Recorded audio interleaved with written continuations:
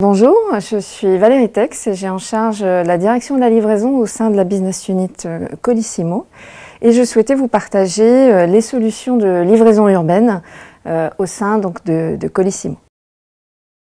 Premièrement, bien sûr, l'impact et les conséquences réglementaires de la loi sur le climat.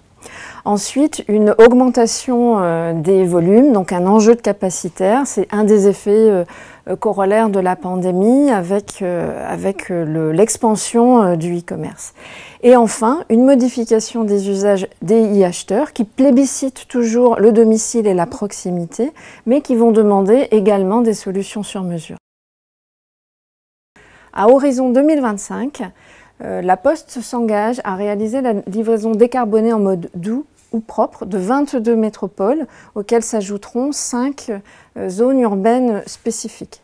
À côté de cette transformation de la flotte, euh, on va vivre des évolutions de notre modèle logistique et opérationnel avec des plateformes préparatrices euh, en périphérie des villes et des unités plus légères de livraison à partir desquelles pourront partir des vélos cargo pour livrer les, les cœurs de ville.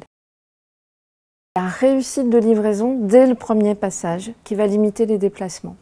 Pour ce faire, en cas d'absence des clients destinataires, la Poste Colissimo propose des choix alternatifs comme par exemple la relivraison à un jour choisi ou la mise à disposition dans un relais commerçant.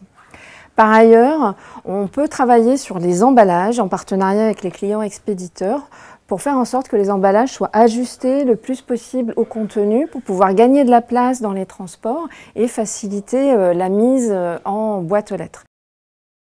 On ne se pose pas la question de si on doit y aller, on y va et on a fait le choix d'accélérer.